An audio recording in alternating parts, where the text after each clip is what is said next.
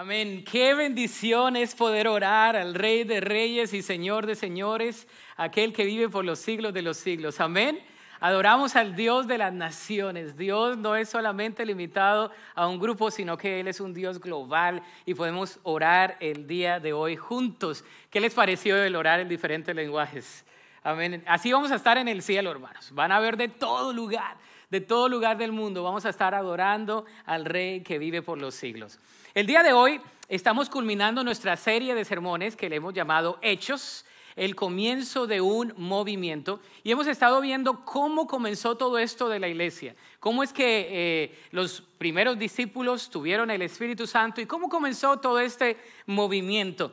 El día de hoy podemos hablar del propósito de la iglesia que es hacer discípulos. Hemos dicho que el propósito de la iglesia es hacer discípulos, que el plan de la iglesia es comenzar desde donde estemos en nuestro Jerusalén, es decir, las personas que están cerca de nosotros, pero que están lejos de Dios, en Judea, los que están alrededor nuestro, Samaria y hasta lo último de la tierra. Hemos dicho que el poder de la iglesia es el Espíritu Santo. También hemos dicho que la gente de la iglesia es un grupo diverso. ¿Recuerdan la historia de las viudas griegas y las judías? El, grupo multigeneracional, multicultural que hubo en la iglesia primitiva.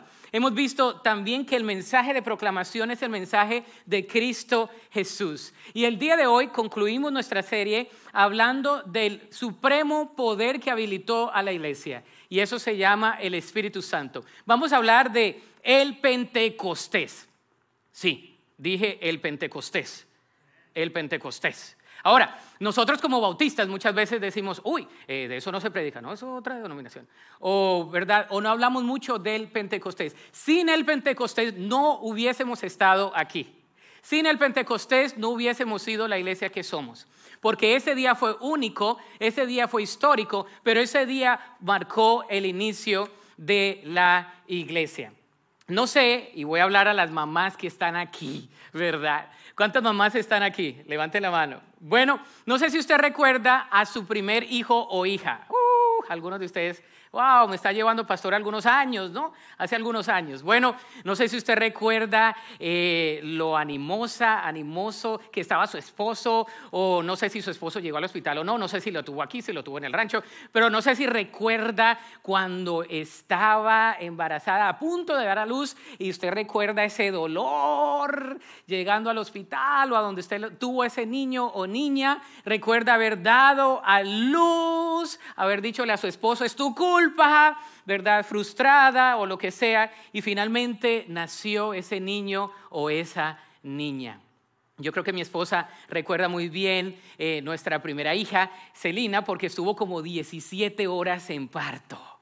Y después de las 17 horas nació nuestra niña este, y, fue un gozo. Después la, vimos ahí, estaba mi suegra, se fue y, pues cuando la niña la agarramos en las manos, yo tomé a Celina, yo dije, y ahora soy papá, ¿qué voy a hacer? no?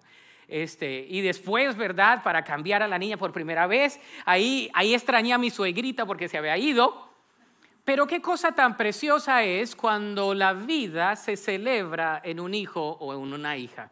El dolor se olvida, ¿verdad? El parto se olvida porque el niño ha nacido. Así fue el día del Pentecostés, un día notorio, un día donde hubo un nacimiento espiritual. Pentecostés, ¿qué significa? Es una palabra griega transliterada que significa 50. Se refiere a una fiesta judía que tomaba lugar 50 días después de la Pascua. También era llamada la fiesta de las semanas, porque se celebraba al final de las siete semanas seguidas de la festividad de la Pascua. También era llamada este, una fiesta donde se conmemoraba cuando el Señor dio la ley a Moisés. Y entonces también en esta fiesta de el Pentecostés se celebraba que el Señor había dado la ley. Las familias, sobre todo los padres, tenían que traer a sus hijos, eh, si estaban a unas 20 o 25 millas, tenían que venir a Jerusalén. Jerusalén era el, lugar donde eh, se llevaba a cabo esta fiesta. Entonces a 20 o 25 millas era requerido que ellos vinieran a Jerusalén para esta festividad. Era un festival, era un tiempo de fiesta. ¿Cuántos de ustedes les gustan las fiestas? Uy, qué tímidos me salieron, claro, yo los he visto. Este era un tiempo de fiesta, ¿sabe? El Pentecostés venían de todo lugar y era el lugar donde venían muchos foráneos, muchas personas de otros lugares venían a Jerusalén y fue allí donde el Señor decidió traer la promesa del Espíritu Santo. Es como si en los días de hoy eh, usted viviese en Denton o viviese por allá en McKinney y tuviera que venir caminando aquí a Park Cities para celebrar el día de Pentecostés. Eso pasó en ese día. Ese día particular donde el Señor lo consagró, donde las familias venían a darle una ofrenda de acción de gracias al Señor, en ese día el Señor traía un regalo precioso que es el Espíritu Santo. Recordemos que el Señor Jesús anduvo con los discípulos 40 días, después ascendió al cielo y después de la ascensión, 50 días después de su resurrección, las palabras del profeta Joel y de Juan el Bautista se cumplieron.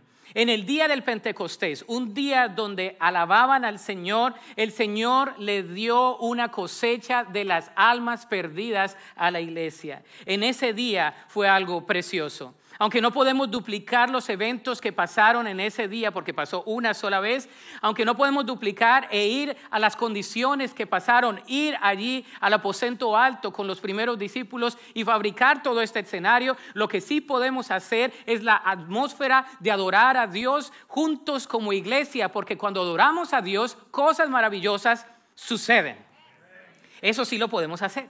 Y una de las características fundamentales que eh, describe a la iglesia primitiva es que ellos estaban juntos en mente, eh, estaban unánimes en mente, tenían la mente de Cristo. La característica peculiar de la iglesia primitiva era que tenían el mismo espíritu y tenían un mismo sentir, una misma mente, pensaban de la misma manera. Así que hay algunas características de cómo estaban unidos. Lo primero es que ellos estaban unidos en propósito. Estaban unidos en propósito. Hechos capítulo 1, versículo 4 y 5 dice, una vez, mientras comía con ellos, les ordenó, no se vayan de Jerusalén hasta que el Padre les envíe el regalo que les prometió. Tal como les dije antes, Juan bautizaba con agua, pero en algunos cuantos días ustedes serán bautizados con el Espíritu Santo.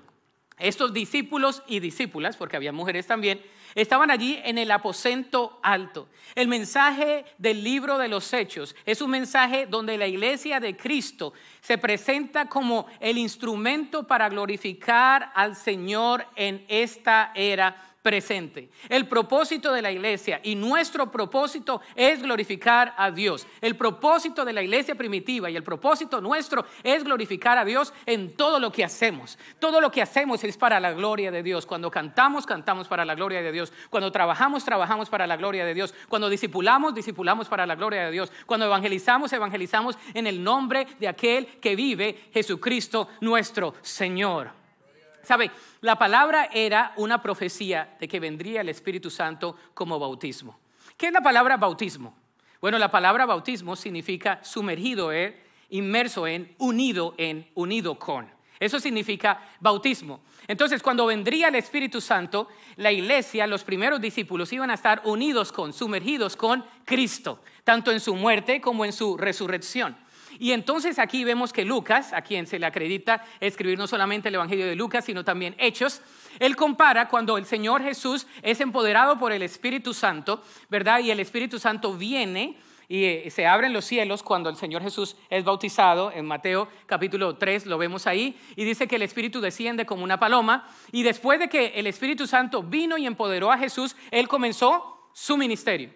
De la misma manera, entonces ahora los discípulos necesitaban el Espíritu Santo para venir, empoderarlos, para realizar la obra a la cual nos había llamado a ellos y a nosotros también. De la misma manera, el Señor nos llama a nosotros. Filipenses 1:27 dice que nosotros caminamos juntos como atletas. Nosotros somos equipo de Cristo, ¿sabía usted? Somos equipo Par Cities. Les decía más temprano, we are team Par Cities, ¿verdad? We are Team Jesus. Tenemos el equipo de Cristo. Tenemos que trabajar juntos para expandir la gloria de Dios y su plan aquí en la tierra. Cada uno de nosotros puede tener diferentes funciones, pero tenemos el mismo objetivo. Quizás tenemos diferentes ideas, pero tenemos el mismo propósito. Tenemos diferentes etnicidades, diferentes estilos de adoración, diferentes tipos de procedencia, lugares donde crecimos, pero tenemos el mismo Espíritu de Dios, tenemos la misma misión y tenemos el mismo mensaje del Evangelio. Park Cities es una iglesia muy única. Estamos a punto de cumplir 82 años. Antes de venir aquí, hice un poco, ¿verdad? Mirando qué era esta iglesia. Vamos a cumplir 82 años y tenemos diferentes maneras de adorar a Dios. Tenemos un servicio eh, en, la capilla pequeño que acaba de comenzar, que es un poco tradicional. Tenemos el servicio en el santuario con orquesta y todo. Tenemos dos servicios aquí a las nueve y media, a las 11, eh, contemporáneos en inglés. Y tenemos el servicio en español y tenemos la presencia en línea en todos los servicios. Nuestra iglesia es muy única. No solamente creemos que es una iglesia legado que ha estado aquí por 80 años, sino que es una iglesia para las nuevas generaciones, que es una iglesia donde todas las personas son bienvenidas aquí en Park Cities Baptist Church. Las personas de donde vengan, no importa el estatus el estatus socioeconómico, sociocultural, no importa de dónde vengas tu educación, aquí hay un lugar para ti. Y los que nos ven en línea, eres parte de la familia de Park Cities y de Park Cities en español. Gracias por estar aquí. Somos el cuerpo de Cristo. El único propósito nuestro es ser y hacer discípulos. Ese es el propósito de la iglesia, ser y hacer discípulos. Ese es nuestro propósito. Lo vemos claramente en la escritura, el ser y el hacer discípulos. Segundo, no solamente estaban unidos en propósito, sino unidos en oración. Hechos capítulo 1, versículo 14 dice, todos se reunían y estaban constantemente unidos en oración junto con María, la madre de Jesús, varias mujeres más y los hermanos de Jesús. Vemos que había un conjunto de, hombres y mujeres orando juntos. Estaban orando con y por las necesidades los unos de los otros. Y es aquí donde vemos en Hechos capítulo 2, versículo 1 y 2, donde dice lo siguiente, dice, el día de Pentecostés todos los creyentes estaban reunidos en un mismo lugar. De repente se oyó un ruido desde el cielo parecido al estruendo de un viento fuerte e impetuoso que llenó la casa donde estaban sentados. Lucas introduce aquí el bautismo del Espíritu Santo como la palabra profética, como un cumplimiento de la misma. El poder que había resucitado a Jesús de la muerte ahora estaba operando en el corazón y en las vidas de los discípulos. El mismo espíritu que vino y estuvo y empoderó a Jesús, ahora estaba empoderando a los discípulos. El mismo espíritu de Dios que permitió que Jesús hiciese milagros y prodigios, ahora venía a residir en el corazón de todos sus discípulos. En el día del Pentecostés, donde se celebraba el comienzo de, de una eh, explosión no solamente espiritual, sino también de agradecimiento a Dios por su provisión. En ese día Dios trajo una cosecha espiritual de muchas almas. Y entonces estaban ahí los, los discípulos, las discípulas, los que estaban ahí en el aposento alto, orando en esa casa de oración, y el sonido fue como un rotundo sonido. Eh, no fue un sonidito, fue un sonido rotundo, fuerte, porque el Espíritu Santo venía. El Espíritu Santo venía para quedarse y para que naciese la iglesia, para cambiar el rumbo de la humanidad. El comienzo de una nueva era, en el buen sentido del término, comenzaba ahí. El comienzo de los últimos días en el buen sentido, el Espíritu Santo venía a empoderar a la iglesia, a que naciese este movimiento de discípulos. Nada une más a la iglesia que el estar unidos en oración. Tercero, también estaban unidos no solamente en propósito, en oración, sino también unidos en su poder. Vemos aquí Hechos capítulo 2, versículo 3 y 4. Dice, luego algo parecido a unas llamas o lenguas de fuego aparecieron y posaron sobre cada uno de ellos. Y todos los presentes, ¿qué dice ahí? Algunos dice, todos los presentes fueron llenos del Espíritu Santo y comenzaron a hablar en otros idiomas conforme el Espíritu Santo les daba esa capacidad. Aquí hay un principio que quiero denotar. No hay poder sin la presencia de Dios. No hay poder sin la presencia de Dios. No hay poder sin la presencia de Dios. la presencia de Dios ya no venía como en el Antiguo Testamento. Usted y yo sabemos que el pueblo de Israel reconocía el fuego, ¿verdad? Y el aire como la presencia de Dios. El Señor venía en una columna de fuego y ellos sabían que la presencia de Dios les acompañaba. El Señor venía también a través del aire, ¿verdad? Sabían que el Señor les protegía. El Espíritu de Dios venía, empoderaba al pueblo de Israel en múltiples ocasiones. Pero ya el Espíritu Santo no iba a venir nada más a empoderar para algunos eventos particulares en la historia. Ahora, el Espíritu Santo de Dios vendría a reposar en los corazones de todos los creyentes para que ellos pudieran vivir una vida en abundancia. Ahora, el Espíritu Santo venía a empoderarlos para vivir una vida en plenitud, para proclamar, para hacer el plan de salvación, para que no solamente ellos sintieran que tenían una misión, sino que tenían el poder a través del Espíritu Santo de Dios y a través de ese poder Él iba a cumplir su propósito eterno. Ese es el Espíritu Santo. Cuando el Espíritu Santo llega a nuestro corazón, nos transforma. No hay poder sin la presencia de Dios. Siempre que veo este pasaje, a veces el pasaje eh, dice que vino el Espíritu Santo en una pieza y después dice que el Espíritu Santo vino también como en fuego para eh, las personas y que venía como en, llamas individuales, ¿no? Es lo que yo le llamo, y que ellos como que tenían lenguas y es como si usted no supiese ni papas eh, de un lenguaje y yo no supiese ni papas de otro lenguaje y de repente escucho a otra persona que está orando en el lenguaje que yo profeso, que yo me comunico y la otra persona me está entendiendo a mí. ¿Se imagina? Eso, precioso, el mensaje del Evangelio. Estaba el poder de Dios para la proclamación, para la extensión del cuerpo de Cristo. Las lenguas de fuego. Nos dice ahí Hechos capítulo 2, versículos 5 al 8, dice, en esa ocasión había judíos devotos de todas las naciones que vivían en Jerusalén. Cuando oyeron el fuerte ruido, todos llegaron corriendo y quedaron desconcertados al escuchar sus propios idiomas hablados por los creyentes. Fíjese estaban totalmente asombrados. ¿Cómo puede ser? exclamaban. Todas estas personas son de Galilea y aún así las oímos hablar en nuestra lengua materna. El versículo 9 y 10 nos da una descripción de personas de Europa, de Asia, de África y del mundo mediterráneo. Es decir, todos los que se conocían en ese momento, eh, había representantes allí en Jerusalén y todos escuchaban que la proclamación del Evangelio estaba siendo llevada a cabo por este grupo de discípulos que estaban orando, empoderados por el Espíritu Santo. Llegaron las lenguas y para la proclamación del Evangelio ellos podían entender lo que ellos hablaban.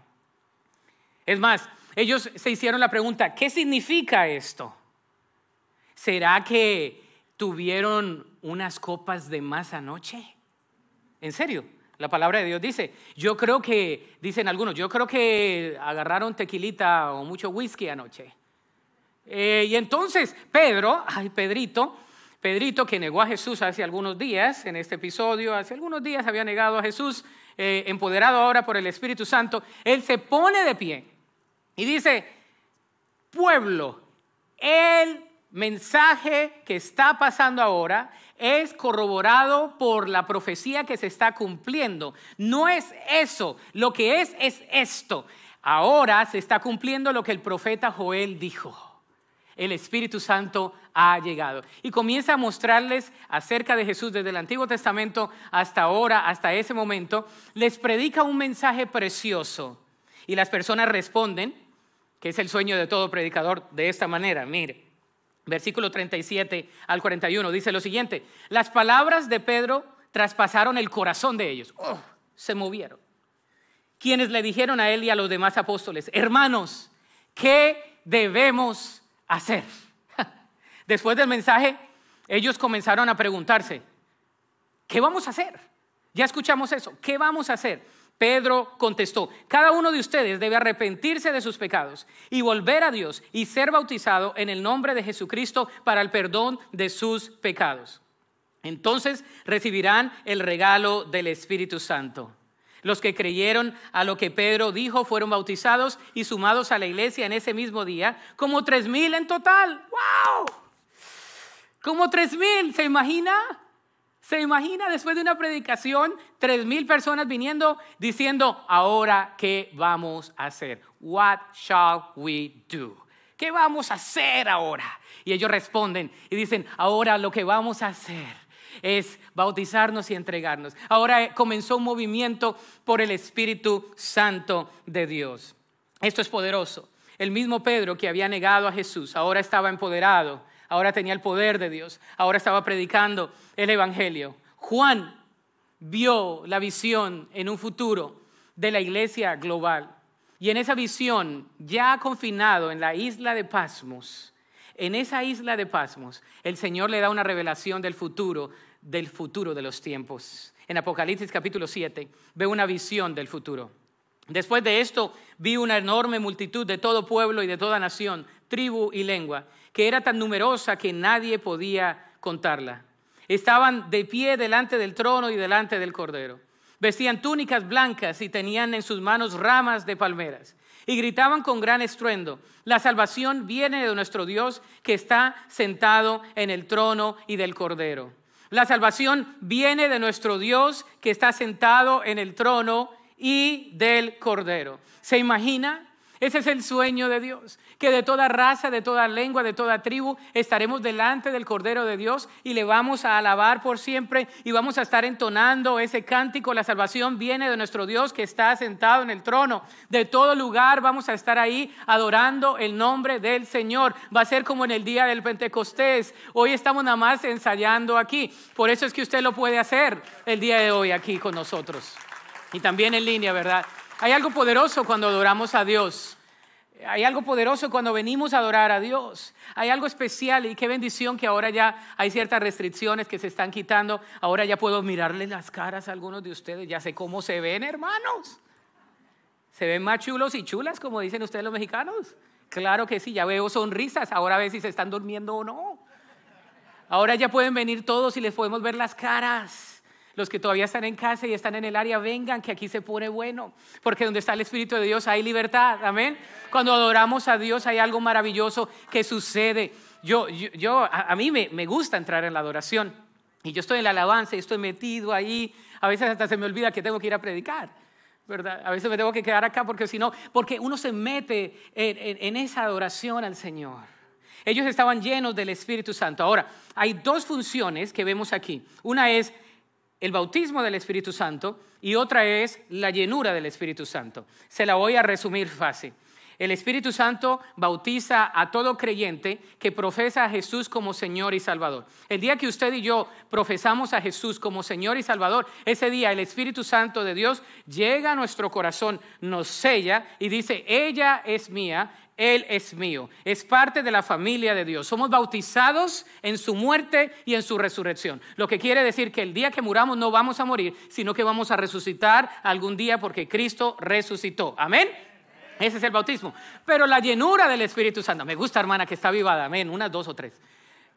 Ah, ahora, la llenura del Espíritu Santo es diferente. La llenura del Espíritu Santo, tanto en el Antiguo Testamento, hay una administración de la llenura del Espíritu Santo, como en el Nuevo Testamento. Vemos que el Espíritu Santo viene y controla a la persona. Ah, that's a different thing, ¿verdad? Esa es otra cosa.